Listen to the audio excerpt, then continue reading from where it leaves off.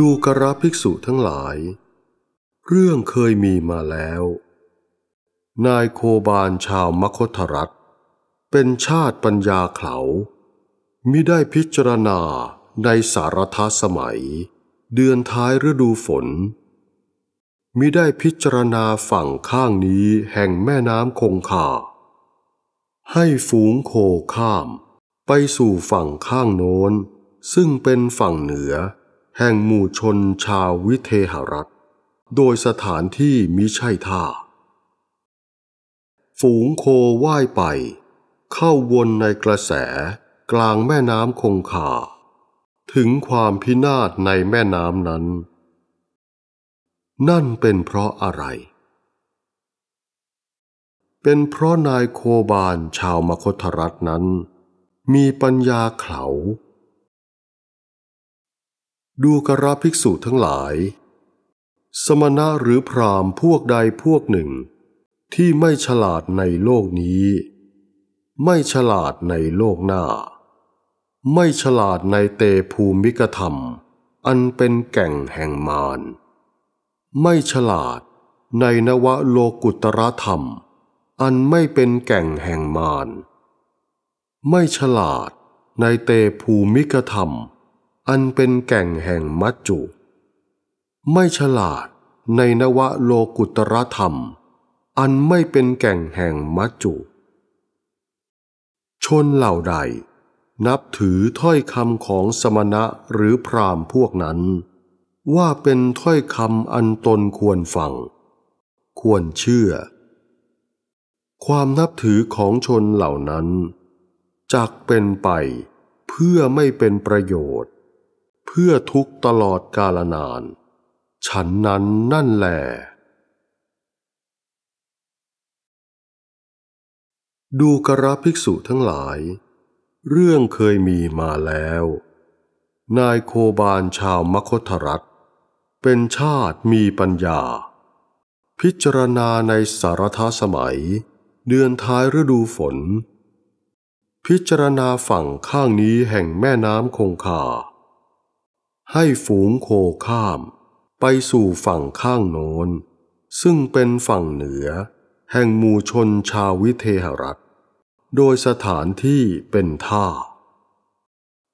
นายโคบานนั้น ให้เหล่าโคที่เป็นพ่อฝูงนำฝูงข้ามไปก่อน โคเหล่านั้นว่ายตัดกระแสแม่น้ำคงคา ขวางไปได้ถึงฝั่งโดยสวัสดี ต่อนนั้นจึงให้เหล่าโคที่มีกำลัง และโคที่ฝึกไว้ข้ามไป โคเหล่านั้นว่ายตัดกระแสแม่น้ำคงคา ขวางไปได้ถึงฝั่งโดยสวัสดี ต่อนนั้นจึงให้เหล่าโคหนุ่มโคสาวข้ามไป ต่อนนั้นจึงให้พวกลูกโค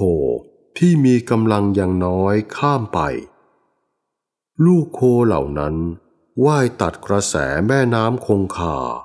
ขวางไปได้ถึงฝั่งโดยสวัสดี ลูกโคเล็กที่เกิดในวันนั้น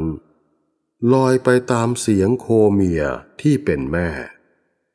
แม้ลูกโคนั้นก็ว่ายตัดกระแสแม่น้ำคงคา ขวางไปได้ถึงฝั่งโดยสวัสดี นั่นเป็นเพราะอะไร เพราะนายโคบานนั้นเป็นคนฉลาด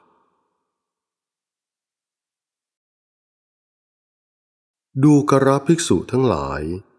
เหมือนอย่างนายโคบาลชาวมคธรัฐนั้น เป็นชาติมีปัญญา พิจารณาในสารทสมัย เดือนท้ายฤดูฝนพิจารณาฝั่งข้างนี้แห่งแม่น้ำคงคา ให้ฝูงโคข้าม ไปสู่ฝั่งข้างโน้น โดยสถานที่เป็นท่า สมณะหรือพรามพวกใดพวกหนึ่ง ที่ฉลาดในโลกนี้ ฉลาดในโลกหน้า ฉลาดในเตภูมิกธรรม อันเป็นแก่งแห่งมารฉลาดในนวโลกุตรธรรม อันไม่เป็นแก่งแห่งมาร ฉลาดในเตภูมิกธรรม อันเป็นแก่งแห่งมัจจุ ฉลาดในนวโลกุตรธรรม อันไม่เป็นแก่งแห่งมัจจุ ชนเหล่าใด นับถือถ้อยคำของสมณะ หรือพราหมพวกนั้นว่า เป็นถ้อยคำอันตนควรฟัง ควรเชื่อ ความนับถือของชนเหล่านั้น จักเป็นไปเพื่อประโยชน์ เพื่อสุขตลอดกาลนาน ฉันนั้นนั่นแหล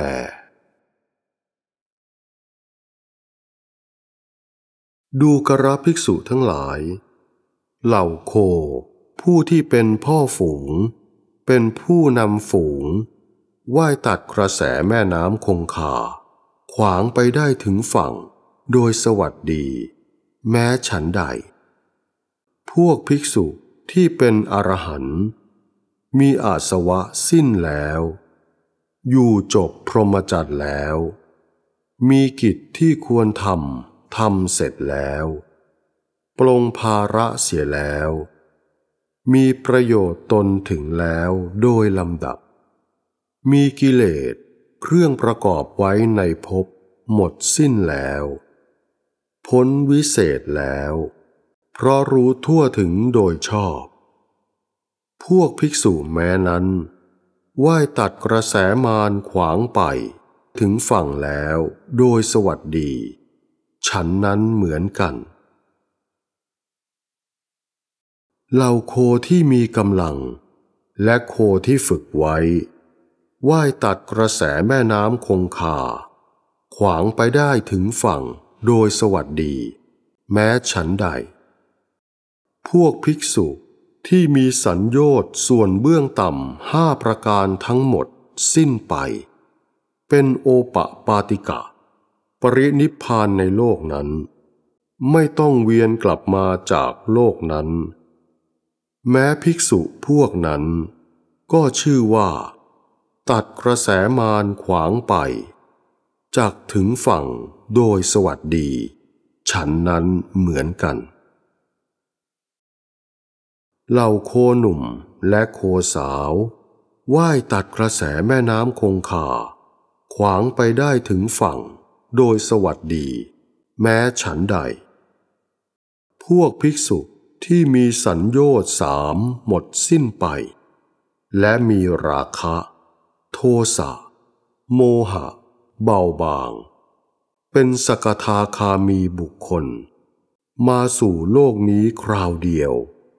ก็จะทำที่สุดแห่งทุกได้ แม้ภิกษุพวกนั้น ก็ชื่อว่า ตัดกระแสมารขวางไป จากถึงฝั่งโดยสวัสดี ฉันนั้นเหมือนกัน ดูกระภิกษุทั้งหลาย เหล่าลูกโคที่มีกำลังอย่างน้อย ว่ายตัดกระแสแม่น้ำคงคา ขวางไปได้ถึงฝั่ง โดยสวัสดี แม้ฉันใด พวกภิกษุที่มีสัญญาสาม หมดสิ้นไป เป็นโสดาบัน มีความเป็นผู้ไม่ตกต่ำเป็นธรรมดา เป็นผู้เที่ยง มีอันจะตรัสรู้เป็นเบื้องหน้า แม้พวกภิกษุนั้น ก็ชื่อว่า ตัดกระแสมารขวางไป จากถึงฝั่งโดยสวัสดี ฉันนั้นเหมือนกัน ดูกระภิกษุทั้งหลาย ลูกโคเล็กที่เกิดในวันนั้น ลอยไปตามเสียงโคเมียที่เป็นแม่ว่ายตัดกระแสแม่น้ำคงคาขวางไปได้ถึงฝั่งโดยสวัสดี แม้ฉันใด พวกภิกษุที่เป็นมัคคสมังคีบุคคลชั้นต้น ที่เป็นธรรมานุสารี และที่เป็นสัทธานุสารี แม้พวกภิกษุนั้น ก็ชื่อว่า ตัดกระแสมารขวางไป จักถึงฝั่งโดยสวัสดี ฉันนั้นเหมือนกัน ดูกระภิกษุทั้งหลาย ก็เราแหลเป็นผู้ฉลาดในโลกนี้ ฉลาดในโลกหน้า ฉลาดในเตภูมิกธรรม อันเป็นแก่งแห่งมาร ฉลาดในนวโลกุตรธรรม อันไม่เป็นแก่งแห่งมารฉลาดในเตภูมิกธรรม อันเป็นแก่งแห่งมัจจุ ฉลาดในนวโลกุตรธรรม อันไม่เป็นแก่งแห่งมัจจุ ชนเหล่าใด จักนับถือถ้อยคำของเรานั้นว่า เป็นถ้อยคำอันตนควรฟัง ควรเชื่อ ความนับถือของชนเหล่านั้นจักเป็นไปเพื่อประโยชน์ เพื่อสุขตลอดกาลนาน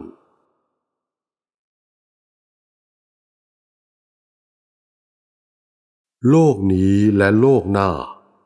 เราผู้รู้อยู่ ประกาศดีแล้ว เราเป็นผู้ตรัสรู้เอง